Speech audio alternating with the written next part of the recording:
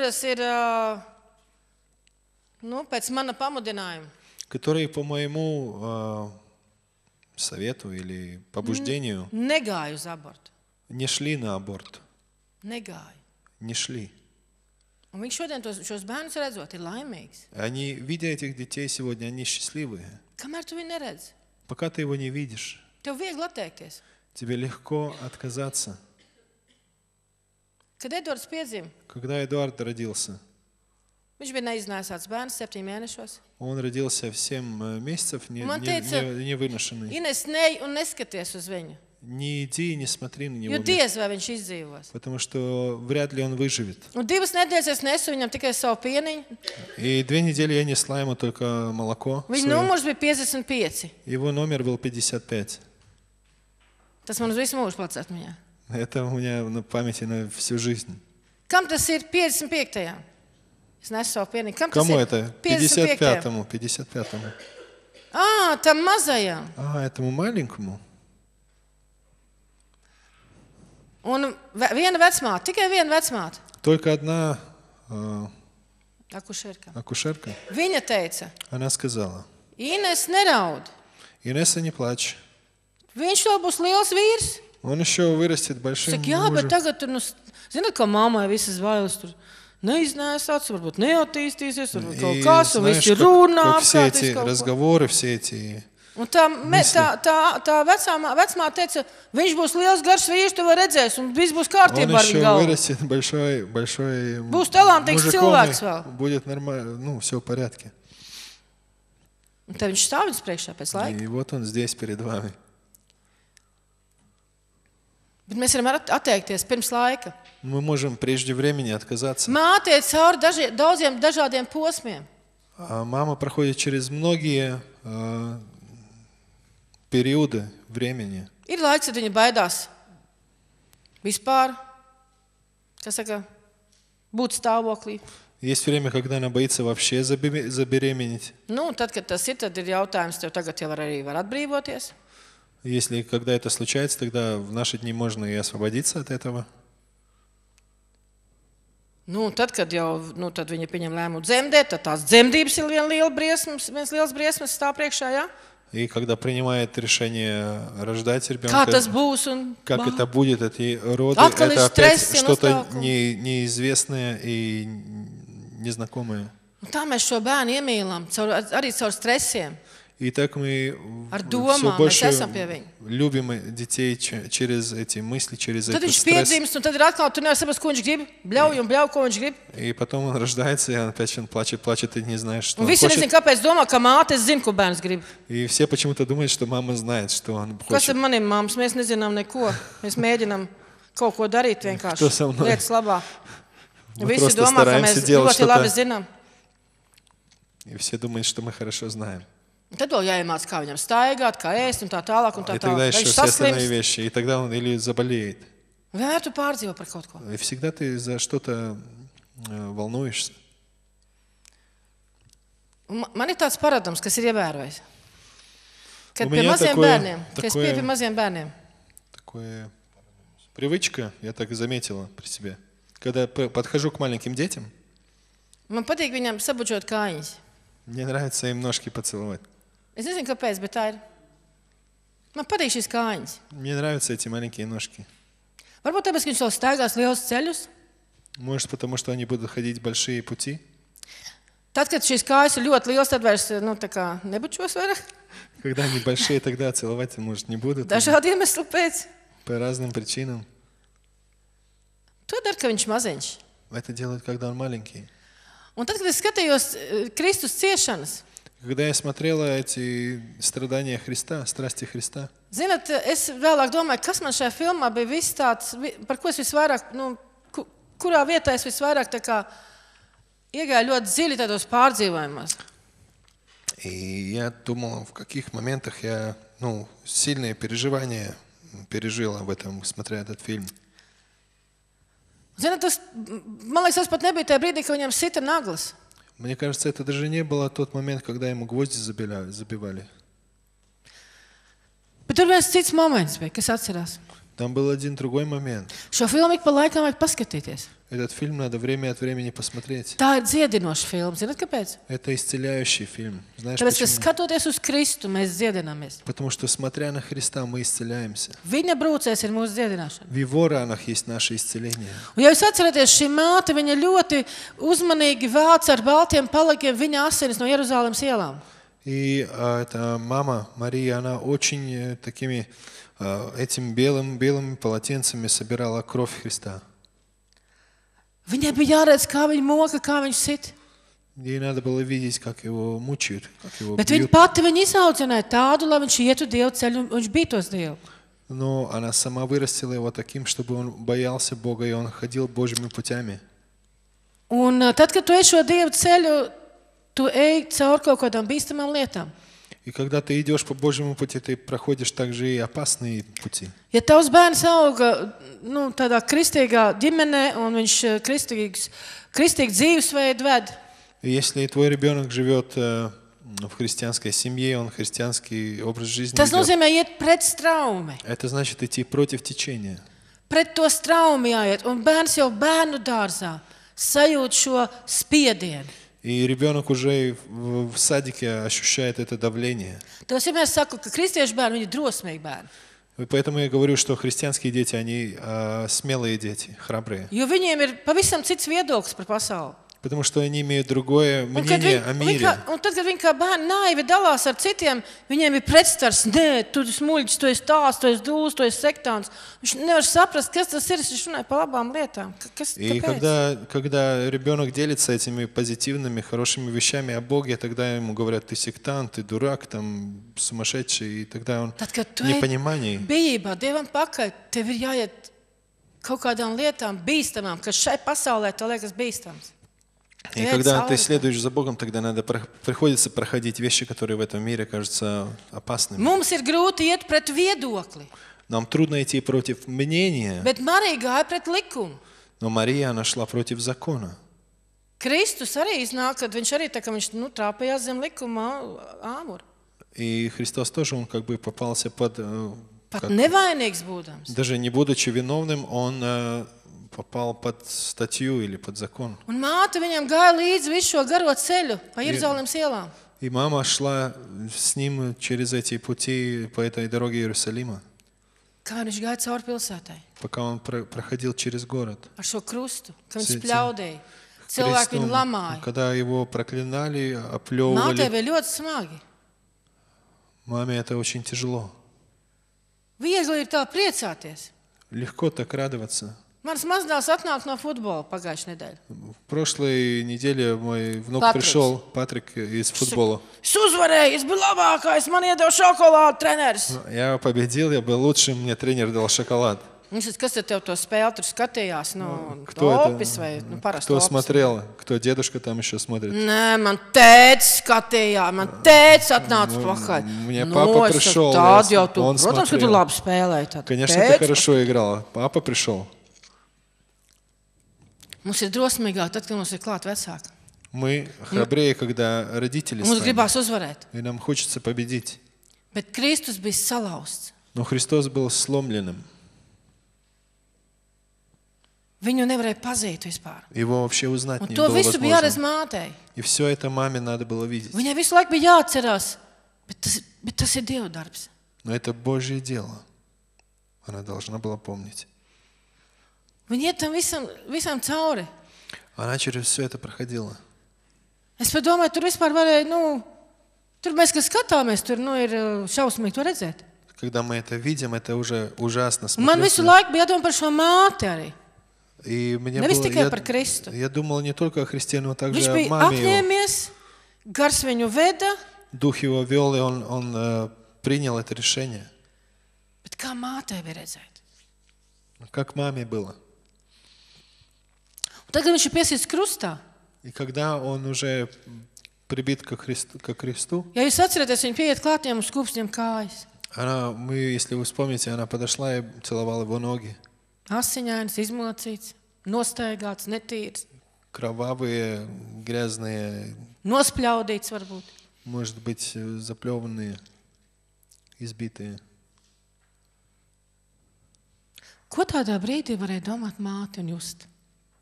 Что в такой момент мама могла думать?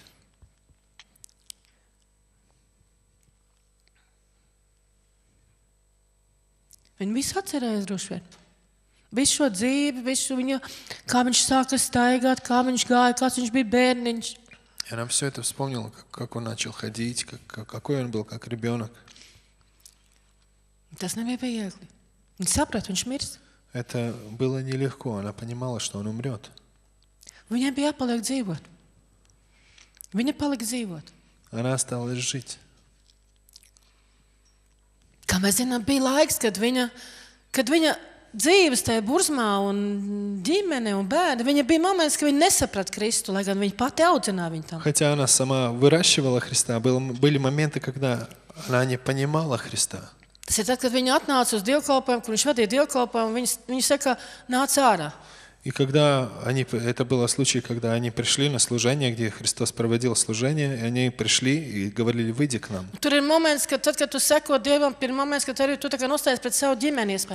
И Бог отделяет, Бог всегда как первый, и бывает так, что Бог как бы отделяет от, э, от как выглядит, что против Un семьи. tiem, kas ir pateikuši Dievam, es tev sekošu, И man те, кто vajag tavu сказали palīdzību. Богу, я буду следить за тобой, я буду следовать за тобой. Ir momenti, kad, uh, kad, Īsti kad Dievs momenti. liek tev reāli parādīt ar notikumu, ka tu man esi augstāks pat par ģimeni, ko es ļoti mīlu. И Бог такой момент дает, что ты можешь показать, что ты, Бог, важнее мне даже семьи, которую я Un люблю. Kristus toreiz teica, tiem, kas teica, māma, tev gaida, brāļi, tev gaida, nu, Jēzu, tur aizēj, viņi tur gaida. tevi." И там Иисус тогда ответил тем, которые говорили, там отец и братья твои, м- мама и братья твои пришли, и они ждут тебя Un у Kristus дверей. teica, ka viņa ģimene ir tie, kas, pakla, tie, kas klausās Dieva vārdu un paklausa. И он, с- Христос ответил тогда, его семья есть те, которые слышат Слово Божье и послушаются. Tā ir mana ģimene. Это моя семья. Bet mēs zinām, ka pēc tam Marija ar brāļiem, tur ir divi brāļi, kas pēc tam ie- ieiet arī apakstuļu kārtā. И Viņi там, bija, viņi turpināja šo, šo Kristus ceļu. и там есть потом братья, которые они стали апостолами, и они продолжали дело Христа. Mātei bija smagi to visu redzēt. Маме было тяжело все это видеть. Un arī mūsdienu mamām ir daudz lietas. Varbūt tas nav, tie, tā nav krustāsīšana, bet ir daudz lietas, kas mātēm ir tik grūti.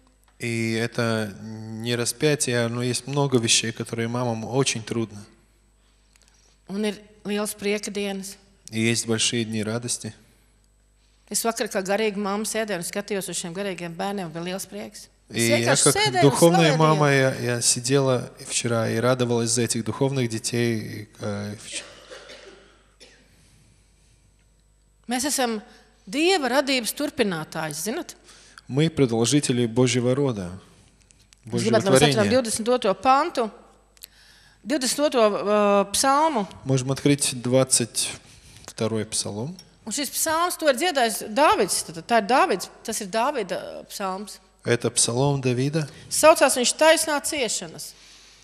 и называется он э, «Скорби э, праведника». Jā. Un te faktiski tas, kas šeit ir rakstīts, tas faktiski ir Kristus um, tā kā pravietojums par Kristu. Это как э, пророчество о Христе. Tas aptuveni tas, ko Kristus jūta, domāja šai krustā. Это то, что Христос э, думал на кресте. Mans Dievs, mans Dievs, Это kāpēc tu man 20. esi atstājis? 21 псалом. Э, «Боже мой, Боже мой, для чего Ты оставил меня? Tu esi tik tālu no manis ar savu palīdzību un nedzirdi manu saucienu vārdus. Ты э, далекий от спасения моего слова, вопля моего. Es saucu dienā, bet tu man, tu man neatbildi, un arī naktī, bet, arī, un arī naktī, bet neatrodu mieru. Боже мой, я вопию днем, и Ты внемлешь мне ночью, и нет мне успокоения. Un taču tu esi svēts, tavs goda krēsls stāv pāri Izraēlas slavas dziesmām. Но Ты святой живешь среди славословий Израиля. Uz tevi cerēja mūsu tēvi, viņi cerēja, un tu viņus izglābi. На тебя уповали отцы наши, уповали, и ты их избавил. Tevi viņi piesauca un tapa atpestīti, uz tevi viņi cerēja un nepalika kaunā. К тебе взывали, и они и были спаси- спасаемы. На тебя уповали, и не оставились в стыде. Viņš centās atcerēties šos dievu darbus, šo dievu palīdzību savā dzīvē, vienkārši bezizējas stāvoklī. ka viņš Он tagad ir. старался вспомнить Nezaudēt ticību. Слово Божье, Божьи дела в эти трудные моменты. To, ko Dievs jau bija darījis. То, что Бог уже делал до того. Viņš centās saglabāt šo ticību, šo cerību, ka arī viņam Dievs palīdzēs beigās. Tomēr. И они хотели сохранить эту веру, что э, он хотел сохранить эту уверенность, что Бог поможет. Viņš saka, bet es esmu tāds un ne cilvēks. Cilvēku apspiesti un ļaužu un ievāc. Я же червь, а не человек. Поношение у, людей и презрение в народе. Tas ir tas, ka viņš gāja cauri šiem pūļiem un kā viņi pa viņu smējās, nirgājās. Это когда он проходил через эту, э, Ļuģēji. через, через э, Толпу. толпу, и тогда, когда люди надсмешали, на- надсмеивались над ним. Visi, kas mani redz, nievā mani, savēl klūpas un krata galvu.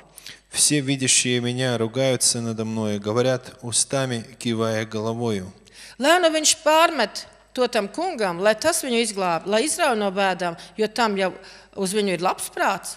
Он уповал на Господа, пусть избавит его, пусть спасет, если он у- угоден ему. Tā bieži arī cilvēki par tevi un mani saka. Так часто люди о тебе и обо мне говорят. Tu esi tas, kas mani izvedis no mātes miesām, kas mani mācījis paļauties uz tevi no mātes krūts. Но ты извел меня из чрева, вложил в меня упование у грудей матери моей. Redziet, viņš bija mācīts paļauties uz Dievu jau no mātes krūts. Значит, он был, его учили уповать на Бога уже с того времени, когда он был у груди матери. Uz tevi esmu vērsts no mātes miesām, no mātes kliepja, tu esi mans Dievs. На тебя оставлен я от утробы, от чрева матери моей, ты Бог мой. Nē, esi tālu no manis, jo izbailes ir visapkārt. Esi man tuvu, jo nav neviens, kas palīdz. Не удаляйся от меня, ибо скорбь близка, а помощника нет. И так часто ja себя наши дети. Если мы не учили своим детям это упование на Бога, viņi salūst dzīves grūtībās. они ломаются в трудностях жизни. Viņi, viņi citus viņus manipulē, Кто-то ими манипулирует, iebaida, пугает, dara pāri. обижает. Bet cik labi, ka bērns zina šo. Хорошо, что ребенок знает это. Un cik labi, ka viņš patiešām var pateikt, ka no mācības miesām. И как хорошо, что он может сказать, что от мать- груди матери он уже. От, э, Paldies Dievam, ka Dievs ir izdarījis tā, caur Jēzus Kristu, ka mēs arī pusmūžā varam atrast šo debesu tēvu, Хорошо, что šo palīdzību. Бог через Христа сделал так, что мы, в- когда мы полжизни прожили уже, мы можем найти эту помощь Un от daudz ir Бога. cilvēki, kur pa priekšu atnāk pie Dieva bērns un tikai pēc tam vecāki. И много людей, когда к ним приходят сначала, к Богу приходят сначала дети, а потом родители только Pasaulē каются. vispār ir eh, pētījums par kristiešiem. В мире делали э, исследования о христианах. Kā atnāk draudzēt cilvēks ar ko? Как, через какими путями в церковь люди приходят. Un uh, otrajā vietā И на втором месте ir bērnu kalpošana. Labi attīstīta bērnu kalpošana draudzēs. хорошо развитое слу- детское служение в церкви. Tā ir ļoti nopietna lieta. Это очень серьезная вещь. Jo atnāk bērns, viņam patīk, un mamma arī atnāk, un mamma klausās, un mamma arī. Приходит ребенок, ему нравится то, что дети делают, и потом приходит мама, она тоже слушает Слово Beigās Божье. visa ģimene un beigās dzimta tieši tāpat kā Marija teica, radu radi, tiek pestīti. И потом все родство, как э, Мария сказала, из рода в род, и люди спасаются. Atcerētos, atceroties laulību, Вспоминая брак, atceroties vakardienu. вспоминая вчерашний день. Laulībā ir arī tā vieta, kur Dievs turpina savu radību radīt. И а, брак это то место, где Бог продолжает творить свое творение. Kā jau vakar teicu, Как я вчера говорил, mēs varam vienkārši dzīvot kopā. мы можем просто жить вместе. Tas būs tā, ka mēs atzīstam miesu, atzīst miesu. Это будет как плоть признает плоть. Ādams teica par ievu. Адам Šī ir сказал kausa no mana Еве, kaula, un miesa no manas miesas. O, а tā Еве, manējā. это, он сказал, это плоть от моей плоти, кость от моей кости. Man Она patīk своя. viņas miesa. Мне нравится ее плоть. Man patīk, ka man tāda, tāda miesa būtu blakām. Мне нравится, чтобы такая плоть была рядом со мной. Mēs varam dzīvot civilaulībā. Мы можем жить э, Nu, pras- не, не регистрированной Гражданской, да. гражданской, э, в Mēs varam гражданском ā, браке. vienkārši sareģistrēties, sareģistrēties nodaļā Мы можем просто pойти зарегистрироваться un nepiesaukt Dievu pie savas laulības. и не призывать Бога к, своей, к своему браку. Bet uh, cilvēks ir trīsvienīgs. Но человек, он триедин. Ar miesu būs par maz. Плотью будет мало. Pēc maza kaut kāda laika, Через какое-то короткое время dažādas citas lietas, м, разные Kas nāk no другие iekšienes. вещи, которые приходят изнутри, kas, kas, kas, kas uh, grauj attiecības. которые rушат отношения. Un miesa nebūs pietiekoši liels arguments. И плоть не будет достаточным аргументом. Pat uh, ļoti, skaistas, ļoti skaisti cilvēki, viņi šķiras. Даже Un pat очень, biežāk nekā, nekā tie neskaistie. Э, даже очень симпатичные, внешне выглядящие лю- люди, они разводятся, и даже чаще, чем не, не столь симпатичные. Люди нуждаются не только в единстве по плоти, но и в духе, arī, arī, dvēseliski, ar emocijām. Daudz также эмо- эмоциями и э, душою. Mums ir vajadzīgs šis, šis kopums. Это, это все это вместе необходимо. Un mums mātēm ir jāpalīdz šim trīsvienīgam cilvēkam izaugt. И мы, как матери, должны помочь триединому человеку вырасти. Tas ir brīnišķīgi, ka mē- mūsu bērni laulājās baznīcā.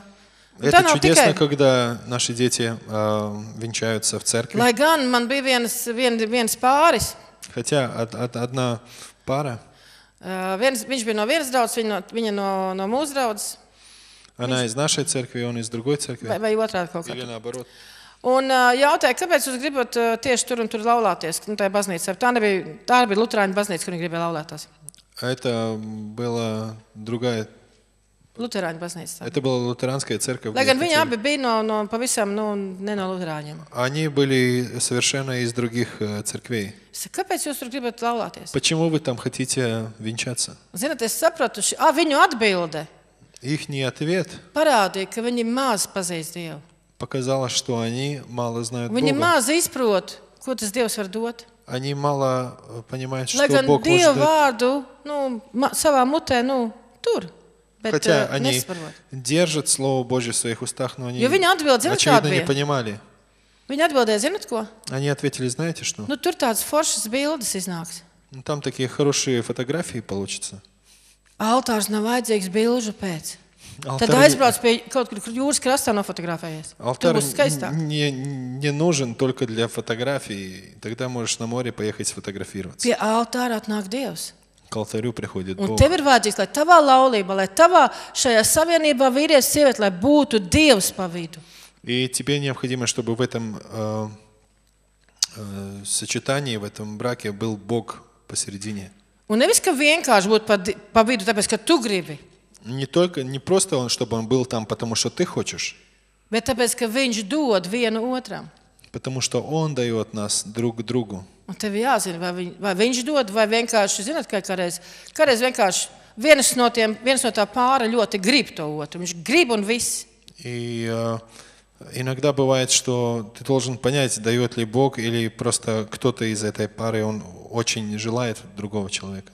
Ir jāzina, vai Dievs to grib. Надо знать, Бог ли желает это. Un te mēs varam atcerēties, mēs pavisam aizgājām citā tēmā tagad, Я уже в другую тему вступила. bet mēs pabeigsim to. Я закончу эту. Mēs zinām, ka Jēkabam bija divas sievas. Lea, ko viņš nemīlēja. Мы знаем, что у Якова были две жены. Одна Лея, которую он не любил, и вторая Рахель, которую он любил. Kā.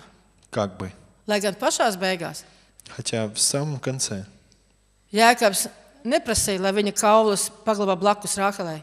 он не спросил, чтобы его кости похоронили рядом с Ра- Рахелью, Bet pie Lejas, kap, lejas, lejas, lejas, kapam blakus. но чтобы его похоронили рядом с Лея. Jo savas dzīves beigās viņš tomēr pakļāvās Dievam. Потому что в конце своей жизни он по- подчинился Богу. Jo viņš, kā, viņa kārība bija šī Rāhela.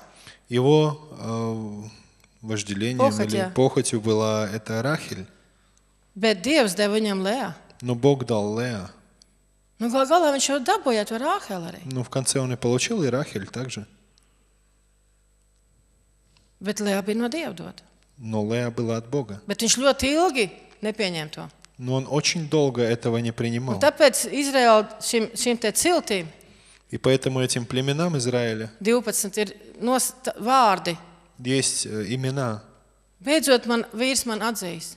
Nu, ar nākamo bērnu Lejā saka, nu, beidzot, vīrs man atzīs. Nu, beidzot, viņš man iemīlēs. И Рах, э, Лея, Jo vi- Lejā viņa dzemdē tos bērnus, viņa nosauc Лея tādos рождала vārdos. детей, и она давала сла- с- имена им, и э, значение этих имен, что э, вот на конце, конце Bet концов Jēkabs от- tiecās uz, uz, мой uz, муж uz, uz, признает uz меня, Rāhelu. полюбит меня, но он э,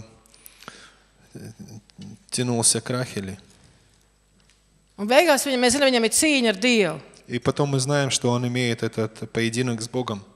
Un daudzi saka, ka tā ir tāda forša vieta, ka viņš tur cīnās ar Dievu, Dievs sev neatlaidīs, svētī mani. И многие говорят, что это такое классное место, он боро- борется с Богом, Бог э, говорит, э, ну, благослов- Богу говорит, благослови, благослови меня, я не отпущу тебя. Bet beigās viņš paliek klips. Но в конце он остается хромым. Viņam nāks atcerēties katru reizi, kad viņš iet.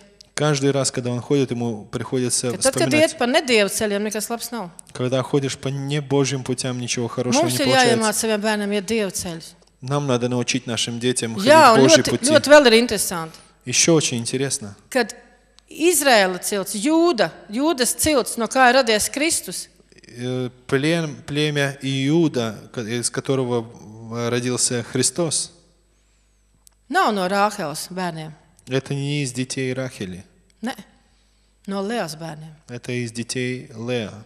Le, un no tā var secināt, ka Leja bija Dieva izredzēta šim cilvēkam. И с этого можно сделать э, вывод, что Леа была предназначена Богом. Mums ir jāiemācās saviem bērniem sekot Dievam.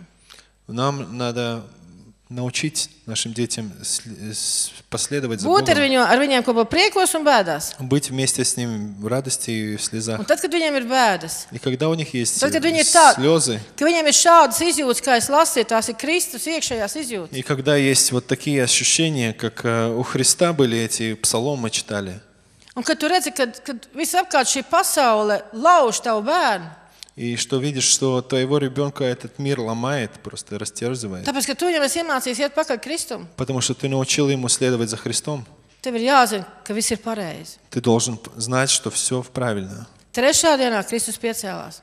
Третий день Христос Un воскрес, Viņš ar Mariju kopā. и он вместе с Дебесис. Марией на небе. Viņi palika kopā ar Dievu, un viņš palika kopā ar Dievu. Он остался вместе с Богом, и она осталась вместе с Богом. Ir grūti bērnus izaudzināt. Трудно детей выращивать. Bet mammas mīl visus bērnus, paklausīgos un nepaklausīgos. Мамы любят всех детей, и послушных, и не столь послушных. Un viņš tāpatās eh, varbūt pieiet šiem lielajiem vīriem un, un sievām jau klāt, kad viņi ir izauguši. И когда они вырастают, тогда подходишь к этим большим мужчинам и женщинам. Varbūt viņi nav izauguši tieši tā, kā tu domā, gribēji un loloji. Может, они не выросли именно так, как ты думал или надеялся. Bet tas ir tā, kā šī māte piegāja, eh, Marija piegāja pie Kristus kājām un skūpstīja šīs kājas. Это так же, как Мария подошла к ногам Христа и целовала эти ноги. Māte vienmēr atcerās, ik pa laikam, kāds bija šis bērns. Мамы вспоминают, каким был этот ребенок. Un tas ļauj atkal piedot, un atkal cerēt, un И atkal это lūgt. позволяет опять молиться, прощать и Un надеяться. cerēt, ka viss izmainīsies. И надеяться, что все изменится. Mārcis Encīša, mācītāja Mārcis Encīša mamma, 14 gadus lūdzu. А, Мама пастора Марцис Янцитис э, 14 лет молилась за него. Un viņš bija pilnīgs un galīgs narkomāns cietumnieks, Он был совершенный наркоман и тюремщик, kurš nes ārā no mājas vispēdējo. что все последнее из дома выносил. Bet viņi sagaidīja. Но она дождалась. Un šodien mācījumiem Jensītiem ir daudz garīgi bērni. И сегодня Мартис Янцитис, он имеет много духовных šodien детей. mamma kalpo kopā ar viņu. И сегодня мама служит вместе с ним. 14 gari gadi, 14 долгих лет. gadi. Это очень длинные годы. 14 gadi viņas dēls bija krustā. 14 tādā лет ziņā, ka можно, nu, pasaule viņu spieda. можно сказать, он был как на Viņš кресте. bija apmaldījies. Он заблудился. Viņš nebija tādā veidā, es nedomāju, nu, tādā veidā krustā, kā dieva aicināts krustā. Viņš bija, viņš bija mm, tāds, kāds no tiem, kas blakus Jēzum bija krustā piesist. Он был одним из тех, можно сказать, которых рядом распяли со Христом. Viņš arī, viņa arī, viņš arī bija krustā. Он также был на кресте. Šausmīgs dzīvesveids. Ужасный образ жизни. Bet šī māmuļa, viņa neatstājās. Но эта мамаша, она не отставала. Es jau teicu vienreiz mācījumam, ka es ļoti gribētu la- izlasīt mammas grāmatu Я один раз Мартису говорил, хотела бы прочитать книгу его Kā мамы о 14 ее gadus? переживаниях, как она дождалась этих 14 лет. Dievam vajag kādu cilvēku šīs zemes, kurš cer uz to, kas ir pakritis. И Богу необходимы люди на этой земле, которые верят, надеются на то, что истина. Kurš lai tu nebūtu tas cilvēks vairāk kā māte? vai И ne? кто бы не мог бы быть еще более таким человеком, как мама. Mums šīs ir Dieva dāvanas dots. У нас это дары Божьи данные. Mums ir uh, ar visiem spēkiem Нам всеми силами jāpiedod, надо прощать, jācer, надо надеяться, jālūdz, молиться, jāliek savu bērnu Dieva rokās. надо ложить детей в Pat ja Божьи viņi руки. runā visu pilnīgi pretēji, pat ja viņi dzīvo pilnīgi Если pretēji, даже они говорят и живут совершенно pat ja tev bērns противоположно. pasaka, es tev neieredzu, Даже если ребенок Vienalga. говорит, я тебя ненавижу, все равно, Vienalga. все равно. neviens normāls bērns savai mātei to pateikt tā nevar. Ни один нормальный ребенок своей маме так Tātad сказать ar не viņu kaut может. kas nenormāls noticis. Тогда, с- так, значит, что-то ненормальное с ним Katrs tāds произошло. vārds, lai tevi māma dara vēl, vēl spēcīgāku uz lūgšanām. Пусть такое каждое слово, пусть оно делает тебя более сильным на молитву. Jo Dievs var izmainīt. Потому что Бог может изменить. Dievs var izmainīt. To, ko mēs esam palaiduši garām audzināšanā, un vēl kaut kādās lietās, Dievs var izaudzināt. Dievs Бог var может izmainīt. изменить все, что мы Viņš пропустили var izmainīt. в э, воспитании или в других моментах. Amen. Amen. Lai svētīts ir visas mammas. Пусть благословенны Pasaka, будут es все esmu мамы. svētīga. Kā viņam teica, Marija, es esmu svētīga. Скажи, я буду благословена из поколения в поколение. То, что я сегодня здесь, то, что я сегодня молюсь, то, что я сегодня переживаю Христа, tas viss darīs tavus dzimtas zārus citādākus. это делает, сделает ветви твоей жизни другими. Saproti? Понимаешь? Tu esi ļoti vajadzīgs saviem bērniem, un pat mazbērniem, un maz, maz, mazbērniem. Ты очень необходима своим детям и правнукам и праправнукам. Nenoliec nost savu, savu, savu to cerības drosmi. Не оставляй эту надежду. Эту Mēs esam vajadzīgi смелость. bērniem, pat ja viņi nav klāt. Даже если м, Pat ja viņi tev atgrūž. детей нет рядом, они, они нуждаются в Viņi нас. izmisumā var pat atgrūž tevi. Может, они даже в отчаянии, они Vienalga. отвергают тебя, но все равно. Māci viņiem iet šos dievu ceļus. Учи им эти Un tad, пути kad Божьи. visa pasaule pret viņiem, И когда весь мир против них, tad es viņam blakus. тогда будь с ними. Es domāju, ka Kristum bija vieglāk krustā, kad viņš redzēja māti blakām. Я думаю, что Христу было легче на кресте, когда он видел маму рядом. Debes tēvu viņš neredzēja. Небесного Отца он не видел. Par, par, Jēkabu, par, par Jāzepu neko nekas nav teikts. О Иосифе вообще ничего не сказано. Kur viņš bija šis tēvs? Где вообще, ну, где отец был? Viņš, viņš skatījās uz mammu Он смотрел на маму un domāja par, de, par Dievu. и думал о Боге. Daudz varam. Daudz var kopā ar Dievu. Много можно сделать вместе с Šī ir Богом. māca diena. Tāpēc mums ir īpaši svētki māca diena. Поэтому у нас наст- сегодня День Матери, это Dievs особенный ar день. māmiņām ra, turpina radīt bērnus miesīgi, И Бог через мам продолжает творить детей, и это joprojām viņš rada. по плоти и через Un плоть Он mēs varam teikt, сотворяет. šeit dzemdību nams, И мы tas ir можем... Dieva radīšanas iestāde. Ja? И дом, э, Turpinās, роддом – это turpinās viss, turpinās viss. место, где продолжается творение людей. Bet ir viens jau, li- viena liela lieta. Есть одна большая вещь. Kā ir ar dvēseli un garu? Как с духу, душою и с духом. Tāpēc Dievs ir radījis šo te iespēju ar Kristu. Поэтому Бог дал эту возможность через Христа. Ka cilvēks jebkurā vecumā В любой возраст var ieiet šajā garīgajā pasaulē un piedzimt vēlreiz. м- человек может зайти в этот духовный мир и родиться снова.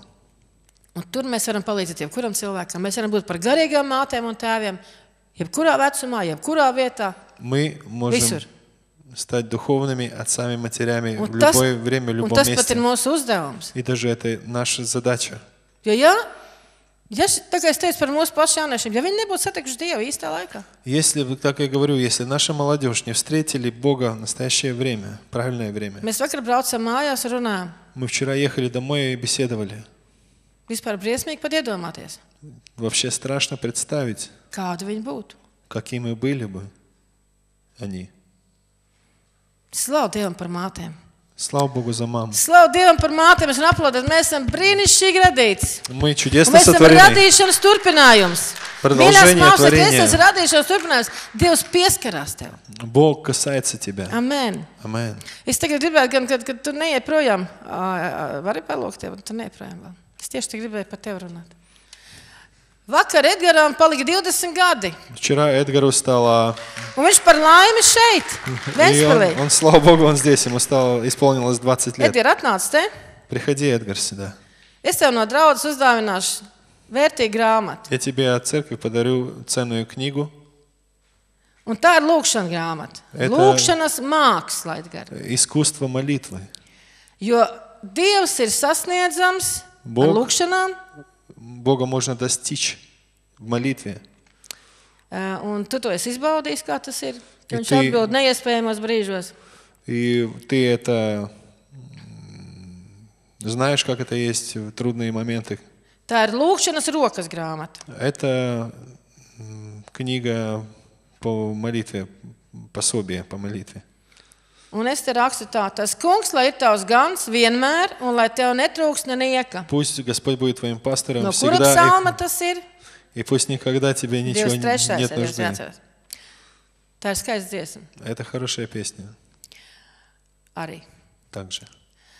Tavs gans, tad, lai, lai tas kungs ir tavs gans vienmēr, un lai netrūkst nenieka. Пусть э, Бог будет твоим пастором, и Ja viņš тебе apsola не, не to будет savā нужды ни в чем, vārdā. так, как Он обещает в своем Un слове. pašā psalma beigās ir tāda vārda. И в самом конце псалме Bet nu es такие to слова. vēršu tā priekš, bet priekš tevis tā pavērst nedaudz pamainīt. Я для тебя так это Tiešām labums un žēlastība, lai pavada tevi visu tavu mūžu, un esi tai, kung, tai kunga namā vienmēr, jo bez viņa un kalpošanas kopā ar viņu mēs nekas neesam. И пусть все благополучие будет, и пусть будешь в Доме Божьем и будешь в служении вместе с Ним, потому что без Него мы э, ничто. Un vienmēr, kad tu dziedāsi šo 23. psalmu, es ceru, ka tu viņu dziedāsi. Я надеюсь, будешь когда-то петь этот 23 псалом. Tad atcerēs beigās šos vārdus. Запомни эти слова. Tur ir skaisti pa vidu, tu būsi ar mani kopā tumsā, eh, tu man ved pie dzirdiem ūdeņiem, tur daudz skaisti apsolījumi. Там а, есть обетование Bet, посередине, vien, bet beigās ir, но в конце есть. ka lai, tā, lai, lai, lai, viņš, lai patiešām labums būtu ar tevi un žēlastība būtu ar tevi, tad faktiski tas nobeigums parāda, tev jābūt Dieva namam, namā ar vienmēr. Tad pie Ты altāra. должен остаться в Доме Божьем всегда. Neatstāj Dievu namu. Tev Не vienkārši оставляй mūžu priekšā. 20 дом. gadu vēl nekas nav. 20 лет это Es еще tavā ничего. vecumā neko nezināju par Dievu īpaši. Я в твоем возрасте о Боге вообще ничего много не знал. Jā, un lai šī grāmata ved tevi dziļāk, tā kunga zaļajās pļavās, И пусть эта kur ir книга tas ведет тебя labums un visas более labas lietas. а, в глубок в эти пастбища Jo no зеленые. Dieva neko nevar dabūt без lūkšanām. Без Бога ничего не Ar получишь, без pavēlēm молитвы. neko nevarēs, vai ne? Приказами не получишь. Svētam viņu, ja? lai viņiem nākamie gadi, Jēzus Kristus Пусть его vārdā, ir последующие года, zaļajās pļavās un Ziedonis. Jēzus Kristus vārdā, lai viņš dzird tā kunga vārdu. пусть он слышит Слово Lai viņš Божье. paklausa, ne tikai dzird, lai Dievs Pust viņu un vada pa слышит visiem послушание, saviem ceļiem. pust Bog ведет Mēs tev его по его pateicamies, путям. Tēvs, ka tu esi viņu izaudzinājis, tu esi viņu Благодарим, paņēmis что savās ты rokās. Tu esi вырастил attīstījis dāvanas, kas viņās Ты ir ielikts no tevis, развил kungs. дары, которые Un, в kungs, нем mēs есть. Jēzus vārdā. Kungs, kā draudze, kā garīga māte, kungs, Jēzus vārdā šī draudze, kungs, svēta šo tavu bērnu, Jēzus vārdā tālākajos ceļos, un lai tavs gars viņu spēcīgi vada, lai viņš dzird savu garu, lai viņš nekļūdās, lai viņš paklausīgs ir tavam garam, jo tas viņu izvedīs vislabākajā vietā kur dievs ir, kur zaļas pļāvas ir, kur labums ir, kur tavs žēlastība, kungs, ir vienmēr, kad mēs arī kļūdāmies, Dievs pārklās visas tavas lietas. Pat ja tu kļūdīsies, Jēzus vārdā mēs tev pateicamies, Tēvs, ka mums ir tāda iespēja dot Jēzus vārdā. Amen.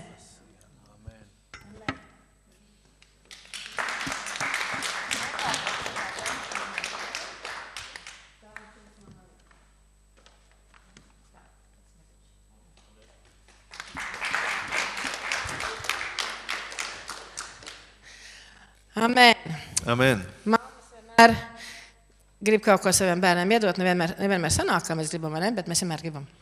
Un viņi tādi garīgi bērni man ir. И они тоже такие дети, мы хотим поздравить их. всегда. Māmas, mēs esam brīnišķīgi radītas radīšanai. Мы чудесно сотворены для Garīgai, творения, tiesīgai, visādai. для Mēs esam духовной, для pilnas плоти, ar emocijām, полные эмоции, kas ir dvēseles sastāvdaļa. которые часть души. Mēs pieņemam lēmumus par Мы, bērniem, мы принимаем решения за детей. un uh, mēs palīdzam viņiem izaugt, izaugt pat tad, kad mēs īsti nezinām, kas mums jādara.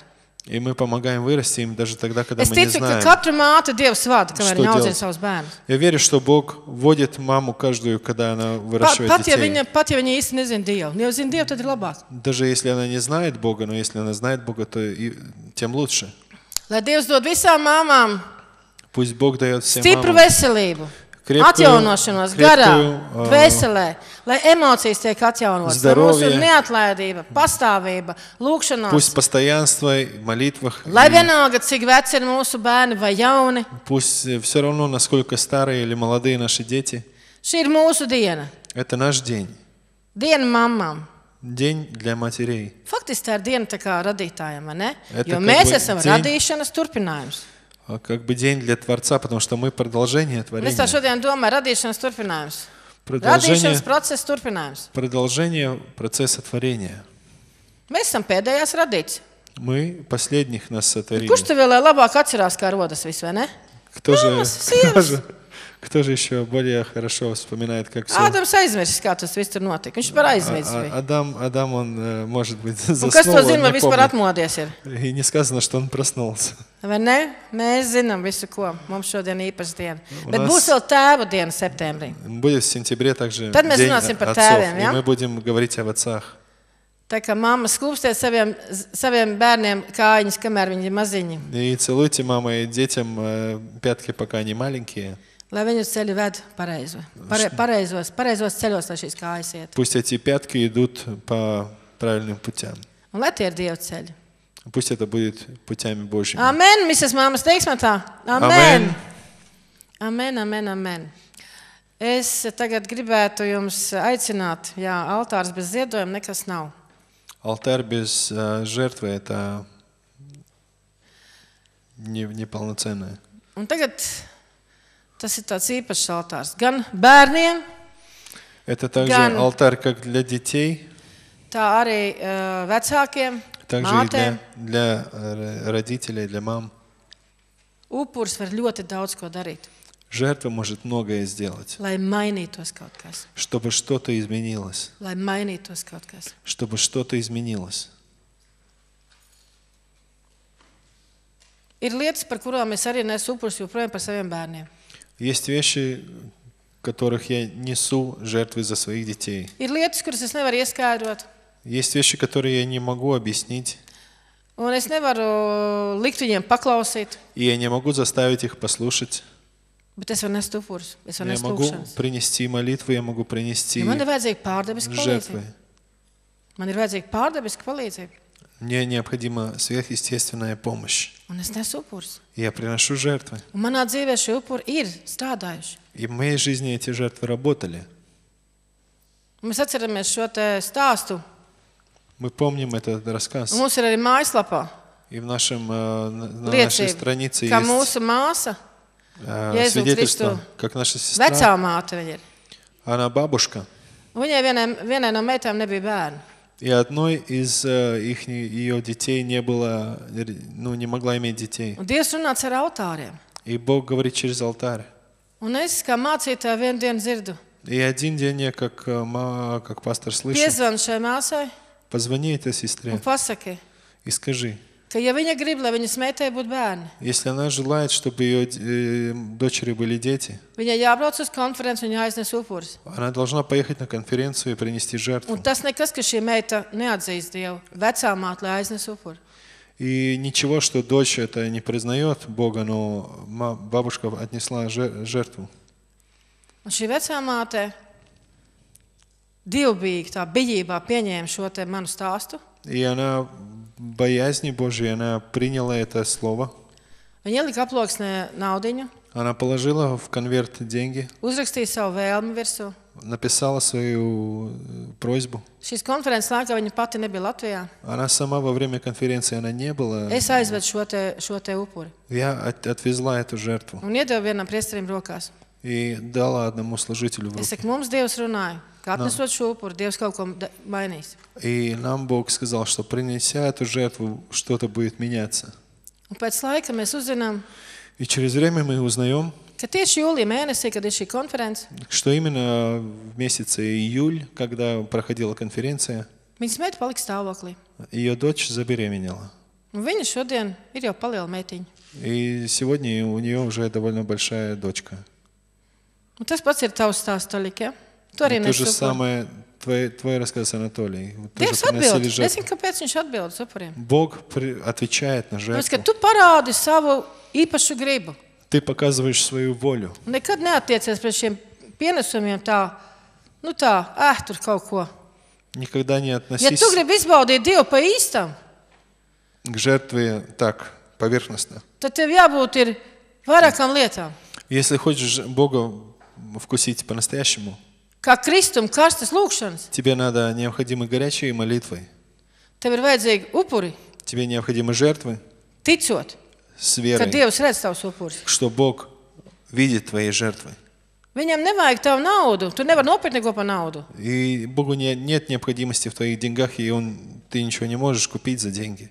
Bet viņam ir vajadzīgs, ka tu ziedojies. Что ты Un жертвуешься. tādā veidā tu parādi, ka tu tici viņam. И таким образом ты проявляешь, что ты веришь в Un šī Него. ticība И эта вера atraisa debesis virs tevis. открывает небо над тобою.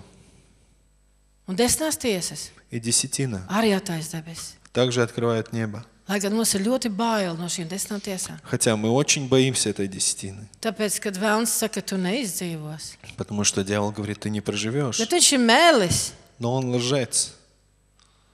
Jo viņš zina, ka tad, kad tu nesīs desmitās tiesas, Потому что он знает, когда Ar ты будешь vieglumu. приносить десятину, tad Dieva roka tev arī sakārtos šīs te lietas. что Божья рука также приведет Palīdzēs в tev порядок все эти вещи. lietot tos 90%. И она поможет тебе использовать эти 90%. Virs tevis būs vaļā debesis. Над тобой будут открытое небо. Amen. Un kas to ir iesācis Amen. lēnām, И тот, кто это начал, tas to zina jau. это знает. Amen. Amen. Lai Dievs mums visus svētī šodien. Пусть Бог нас всех Pienesam savus благословит. upurus, pienesam desmitās tiesas, kas ir atnesis. Un uh, sanita Принесем nāk, ā, жертвы и nāk šurp принесем lūksim par- а, Нас пожертвования готовое и слушание, за да? молитвы помолимся, за нужды помолимся. Nākam atnesam desmitās tiesas. Un tad kopā par visu sanītu, tad, lai būtu, a, a, upuris būs kopā ar, ar, ar, ar lūgumiem. Šis ir laiks, kad var kaut kas izmainīties. Un tas ir tavās rokās. Ir lietas, kas ir Dieva rokās, un ir lietas, kas ir tavās rokās. Un šī lieta, lai Dievs ta- tavā dzīvē darbotos, tas ir tavās rokās. Tas nav svešās ielikts. Dievs ir Dievs, kas grib runāt individuāli.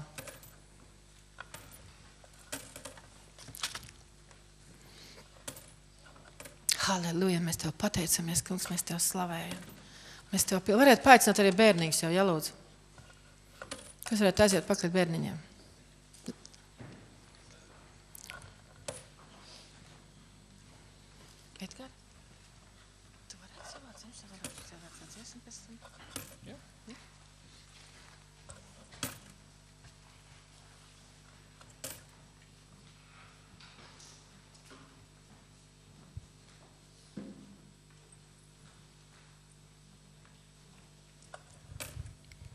Es tev došu šo te. Par desmitām tiesām bija kāds, kas gribēja palūgt pats, jo ir svarīgi arī pašam pateikt vārdus. Измерение такое. Кто желает, может сказать, поблагодарить Бога также за десятину молитвой. Лично.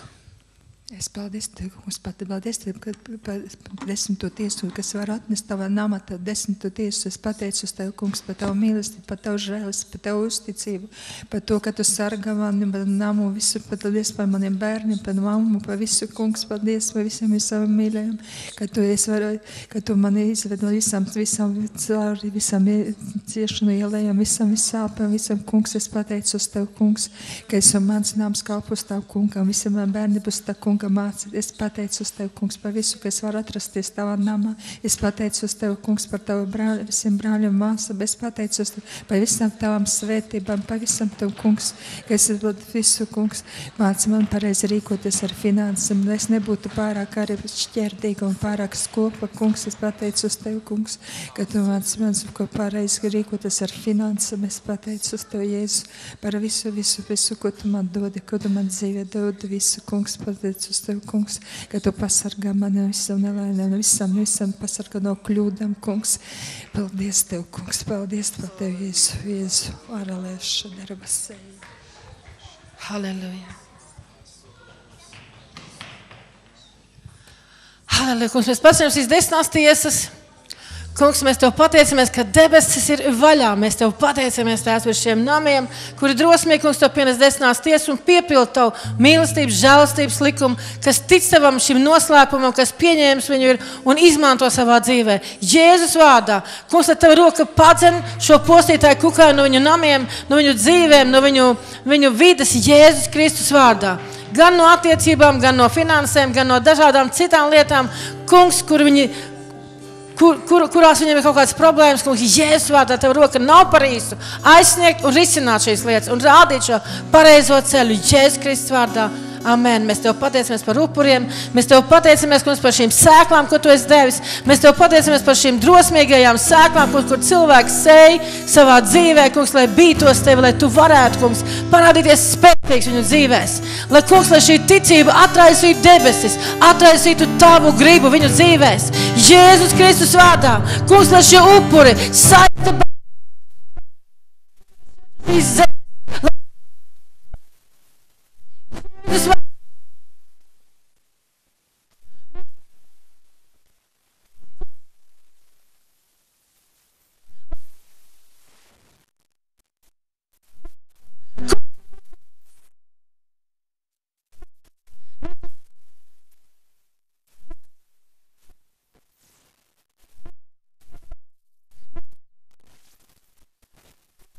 ka tu mums dod, lai mēs piedzimtu vēl.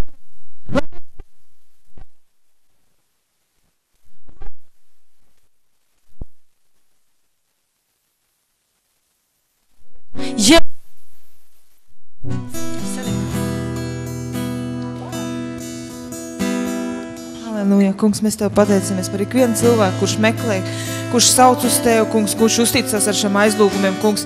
Mēs tev lūdzam, kungs, pieskaries šim ģimenēm, kungs, pieskaries katram šim lūgumam, kungs. Mēs tev lūdzam, Dievs, atbildi īstā laikā, kungs. Mēs tev lūdzam, lai šiem cilvēkiem ir pacietība. Pacietība sagaidīt, ja es Kristus vārdā, lai šīs gulūkšanas gars, kas lūdz, ja es Kristus vārdā, lai tas neapklust, kungs, bet lai šie cilvēki klaudzina, klaudzina un klaudzina pie, pie tavām durvīm, kungs, un viņi sagaida to, ko viņi ir lūguši, kungs. Mēs, Jēzus Kristus vārdā, kā draudz, mēs atraisam, mēs atraisam šo brīvību, Jēzus Kristus vārdā, mēs atraisam dziedināšanu, Jēzus Kristus vārdā par namiem, par visām dvēselēm, kurš ir noskumuši Jēzus Kristus vārdā. Lai šis vientulības gars Jēzus Kristus vārdā, lai pazūd no namiem Jēzus Kristus, lai pazūd jebkāda depresija, jebkāda slimība Jēzus Kristus vārdā. Jo tu esi teicis, ka ar tavām brūcēm mēs esam dziedināti Jēzus Kristus vārdā. Mēs atraisam šo dziedinošo spēku Jēzus Kristus vārdā, kungs. Lai viss tas, kas ir nepieciešams Jēzus Kristus vārdā, lai tas atnāk, kungs, ne ar spēku, ne ar varu, kungs, bet ar tavu garu Jēzus vārdā. Amen. Amen. Un tagad ir jaut, man lūgums visiem bērniem iznākt šeit priekšā. Visi bērni atnāk šeit pie manis, ja? Atnāciet te pie manis. Nostājamies te. Tā. Visi bērni nostājas man te priekšā. Tā. Nostājamies. Mhm. Tā. Vēl ir kāds bērniņš? Nu, šodien nav daudz bērnu, tāpēc, ka bērni, nu, viena daļa no bērniem ir koncertos. Un paldies Dievam, ka viņi kalpo ar savām dāvanām, attīst šīs dāvanas. Lai gan droši vien, kad ar laiku būtu jābūt tā, ka šīs dāvanas ir šeit, nevis ārpusē. Tā, un tagad es palūgtu Eduardu. Bērni, Edvards lūgs, un jums jālūdz līdzi, ja? Jums jālūdz līdzi par uh, visām mamām. Ja? Un visas mammas varētu iznākt pretim šeit. Iznāciet mammas visas pretim šeit.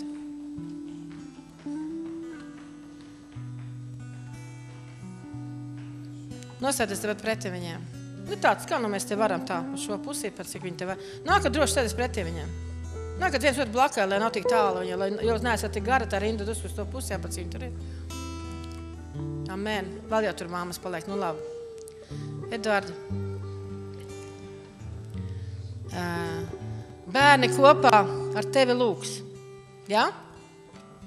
Pieeja pa priekšu klāt, viņi katru palūdz, vai viņi uzliec viņiem rokas bērniem pa priekšu. Eduardi, apjautāt apē apkārt. Uzliec viņam bērnam rokas, katram bērnam uzliec rokas. Lai viņi kopā gatavi lūgt ar tevi. Māmas lūdz par saviem bērniem, lai Dievs izmanto tavus bērnus. Lai, lai Dievs izmanto tavu bērnu. Lai viņš sirds atverās lūkšanai. Jo no Diev, Dievs ir Dievvārdē teicis, ka no bērna, lūk, bērna lūkšanas tūlīt ir debesīs. lūdz par saviem bērniem. Mums jālūdz par bērniem, un bērni lūdz par mums. Tas ir jauki. Tā ir pilnība. Tagad bērni, Edvards lūgs, un jūs lūdzat kopā. Ja? Un jums jāpieiet klāti katrai, katrai sievietei, pielieciet rociņu, ja? un tad atnāksiet tepat apakaļ. Ja? Tu sāksi ja? ar baibu, ja? un pie katrai pieliec rociņu klāt, lūgsim. Ja? Ar katrai, katrai tantē pieliec rociņu klāt, ja? katrs bērniņš. Ja? Halleluja, Tēvs, mēs Tev pateicamies, mēs svētījam mūsu māmas, mēs pateicamies, kungs, ka, ka Tu esi tās, kas es Tev šīs, es Dievs mūsu māmas, lai tās rūpējās par mums. Es Tev pateicos, ka Tu esi Dievs viņām spēja mums mīlēt un piedot, ka Tu esi Dievs šo dievišķo mīlestību, kungs, ielicis cerēt visu, ticēt visu, mīlēt un piedot, kungs. Es Tev pateicos, kungs, ka Tu esi tas, kas atjauno, Tu atjauno, kungs, lai caur mums arī šī tavu dievišķā mīlestība, lai tā, mums, lai tā viņas atjauno, lai dod šīs jaunās spārnu vēdzas, kas dod spēku pacelties kā ēgļiem. Kerema shika toro bose, ke terema sika tara basheya. Kerema soko terema shika tara maseya. Kerema sidara basheya. Redzēt šo tavu labvēlību, kungs. Ieraudzīt, ieraudzīt šīs zaļenās ganības, kungs. Kerema šeja ieraudzīt, ka tu stāv pa labo roku un tu palīdzi, un ka tu rādi visu jaunu, kungs, kēremā šīdārā sēke tēremā sija. Kēremā šīdārā sēja, kungs, savu katru bērnu, es tev lūdzu izlai, izlai svētais gars. Izlai svētais gars, kēremā šodoro bosija. Mēs neejam šodien ar savu spēku, ar savu vārdu. Mēs padodamies Tev svētais gars. Mēs padodamies Tev, kungs, un mēs lūdzam, mēs lūdzam, mēs svētījam mūsu māmas, mūsu Mēs Tev pateicamies, kungs, halleluja, šikatara madara baso kotīri bašēja. Halleluja, halleluja, halleluja, svētais gars iziet caur mūsu rokām. Iziet caur mūsu rokām, kēnemā šīdarama, soko tēnemā, sakatarama, sīrama, soja. Kēnemā ralarama, larama, šika turabose, ketēremā sēja. Kungs, mēs slavējam, mēs slavējam, mēs slavējam, mēs slavējam Tev, kungs, šika turabose, ketējamā sīja. Kēnemā sodarabos, šika taramā, sēnemā sēja, svētais gars atjauno piepildu. Kēnemā sodarabos, šika taramā, sēnemā, sēnemā sēja. Halleluja, halleluja, kungs, sēka tēne mašījā. Nevis ar savu spēku, nevis ar savu vārdu. Kungs, izlai savu mīlestību, kungs, kēne masījā. Piepild katru trauku ar savu mīlestību. Lai nevienam, nevienam netrūkt, kungs, jo tu esi mīlestības Dievs, tu esi tas, kas dod savu mīlestību. Svētais gars piepild ar savu šalomu, ar mieru. Mieru, kas šeit pasaulē nav aptverams, kas nav saprotams Jēzus Kristus vārdā. Kēnemā šidara masēja. Lai visas nastas, kas nav no tevis, Jēzus Kristus vārdā, lai tās krīt, lai aiziet Jēzus vārdā. Ko šie, ka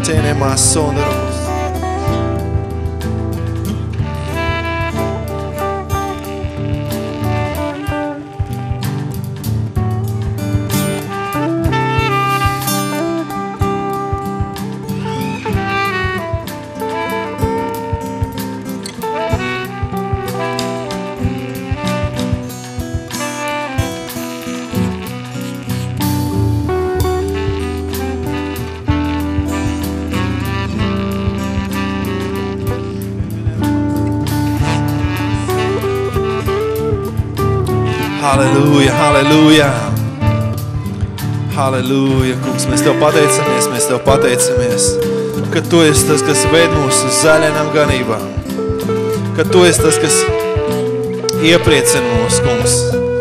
Halleluja. Tas kungs, mans labais gans, tāpēc man vairs netrūks neriekā, jo tu mani vedi uz zaļainām ganībām, pie skaidra ūdens tu mani vedi. Tas kungs, halleluja, ir mans labais gans, tāpēc man vairs netrūks neniekā,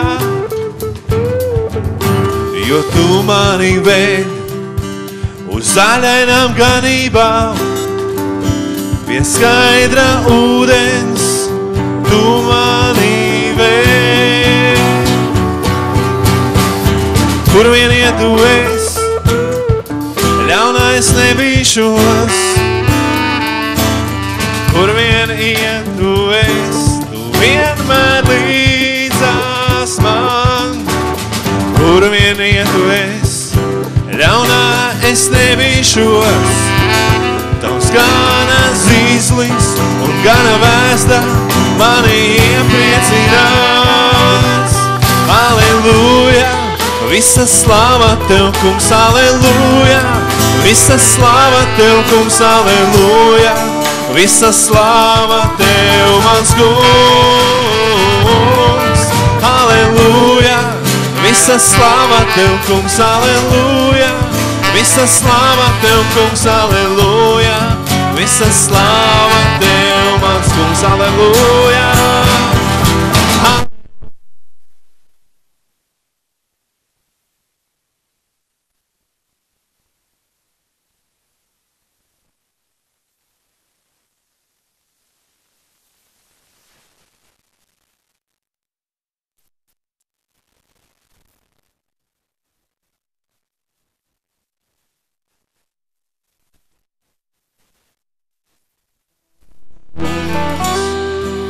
Aleluja!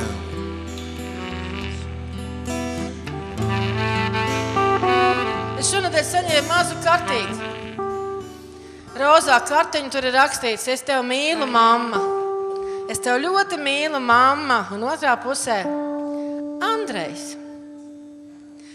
Es nebiju gaidījusi šo kartiņu, bet tas bija tik mīļi. Un es jums visiem saku, mīļās mammas, mūsu bērni mums saka, es tevi mīlu, mamma. Pat ja viņi to nav izteikuši tev ne šodien, ne vakar. Amen. Halleluja! Mēs atdodam savus bērnus Dievam. Un mēs gribam, kungs, tikties ar viņiem debesīs, Jēzus vārdā. Amen, lai tas notiek tā. Es tagad gribētu, zināt, ko palūgt? Lai mūsu Edgars savā dzimšanas dienā mums nodzied vienu dziesmu. Labi? Apsēžamies. Lai viņš mums nodied māmiņām, un savā dzimšanas dienā, un māmiņām. Varbūt viņš divas nodziedīs, nezinu, kā viņam iznāks.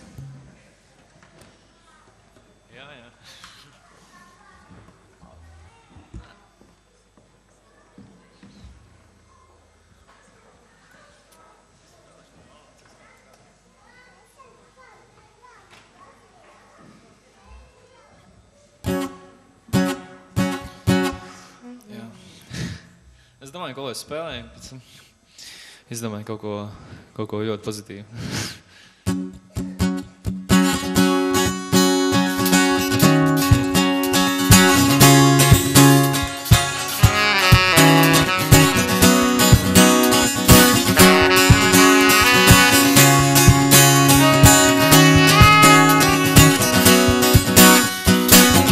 No mālā veidot ceļš, tavu roku izmīcīts, tavu žēlstības aplaistīts, tavas uguns izkāpsēts.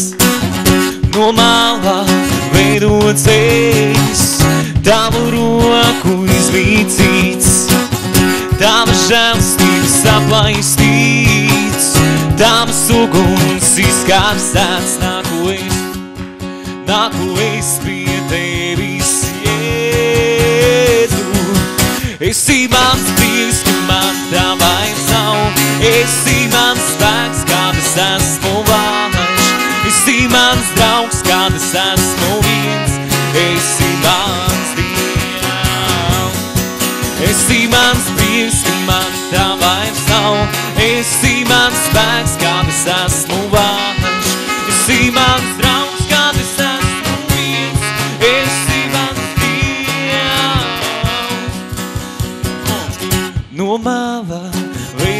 es, tavu roku izmīcīts, tavas žēlstības aplaistīts, tavas uguns izkāpsēts. Hey!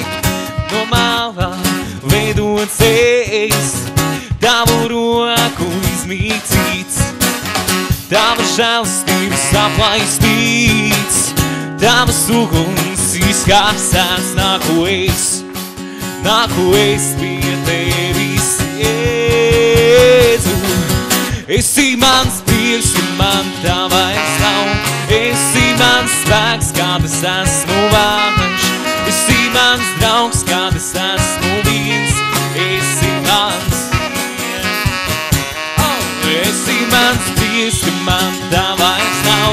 Esi mans spēks, kad es esmu vājš. Esi mans draugs, kad es esmu viens. Esi mans dievs. Esi mans prieks, man tā vairs nav. Esi mans spēks, kad es esmu vājš. Esi mans draugs, kad es esmu viens. Esi mans dievs. Esi mans dievs. Esi mans dievs. Esi mans dievs.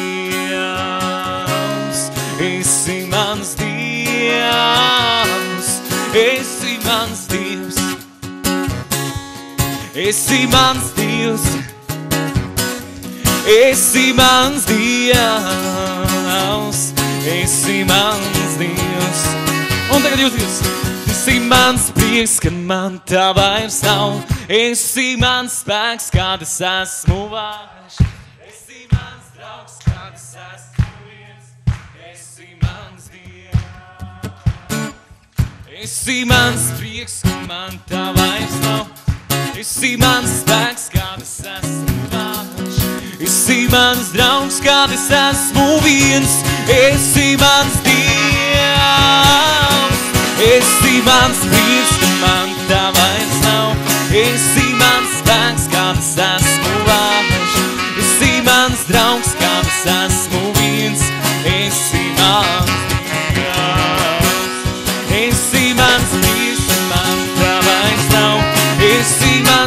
kad es esmu vājš.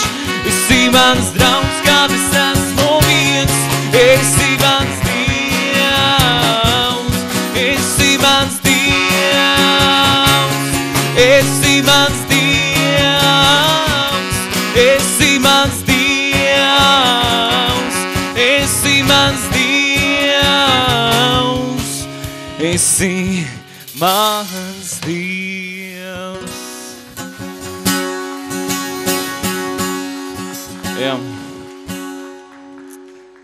Toļik, iedos mediātoru.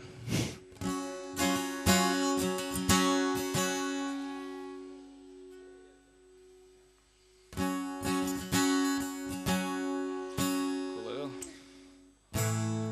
Kas sāk, tad negribas beigt.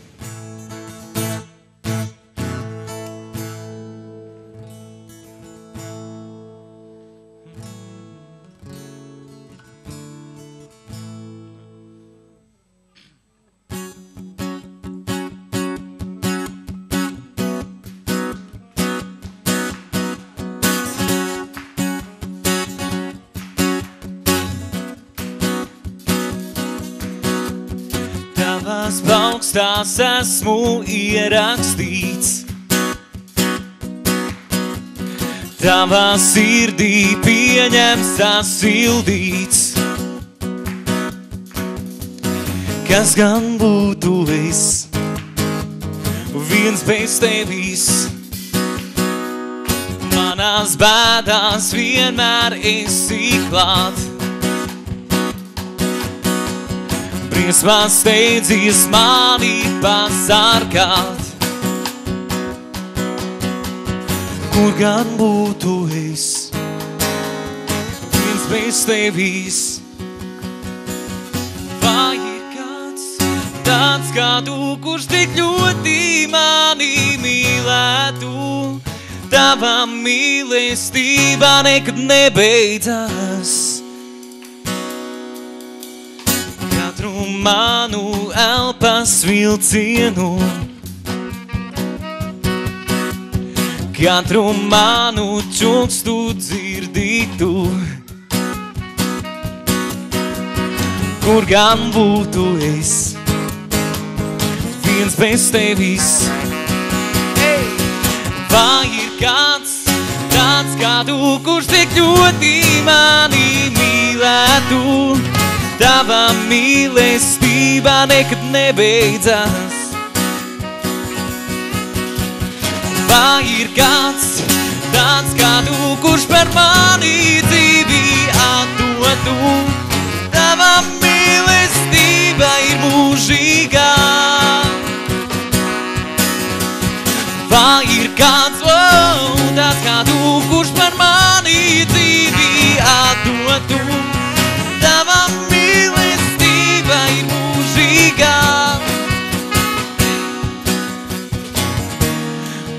Māci man tevi saskatīt. Tavas pēdas māci ieraudzīt. Lai cik vien tālu es aizietu. Tavu balsi,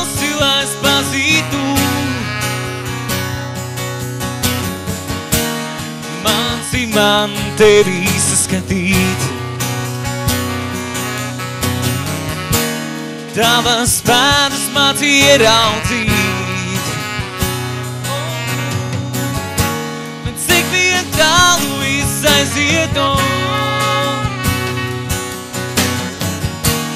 Tavu balsi, lai es pazītu.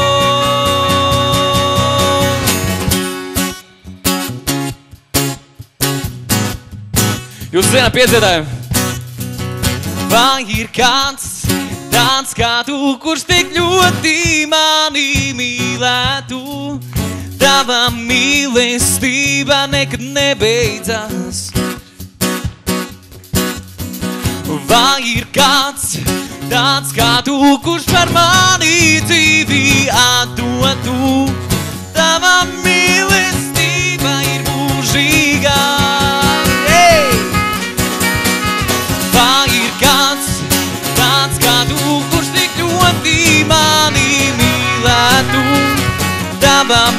Mīlestība nekad nebeidzas.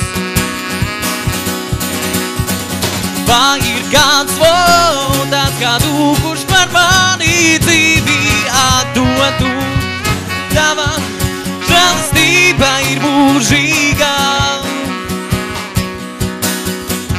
Tava žēlastība ir mūžīgā. Tava žēlastība ir mūžīga. Tava žēlastība ir mūžīga. Nav mīlestība. Tava mīlestība ir mūžīga. Māci man tevi saskatīt. Tavas pēdas māci ieraudzīt, lai cik vien tālu es aizietu. Tavu balsi, lai es pazītu. Māci man tevi saskatīt. Tavas pēdas Tavs pēdas māci man ieraudzīt. Cik vien tālu es aizietu. Tavu balsi, lai es pazītu, pazītu. Māci man tevi saskatīt.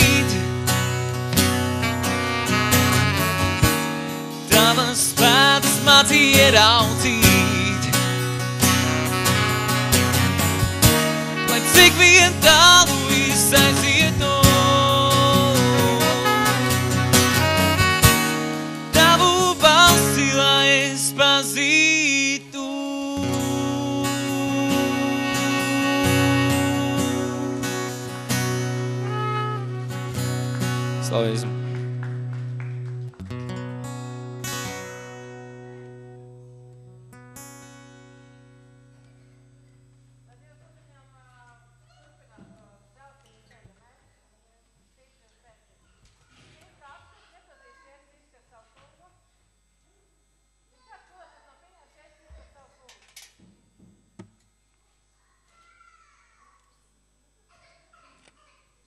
kāds ir, kas nepazīst Jēzus Kristu kā savu kungu.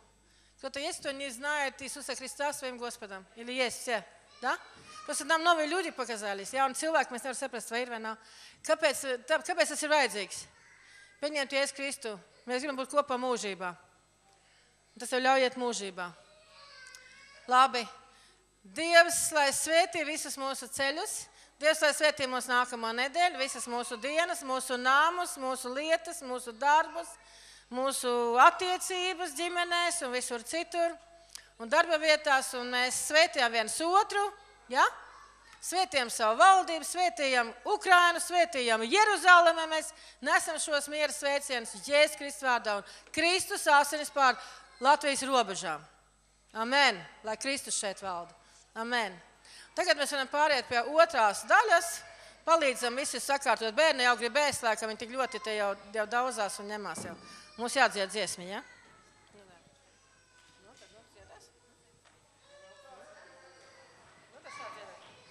mūsu. Pateicību pienesam, tev kungs izsandērējam. Jūs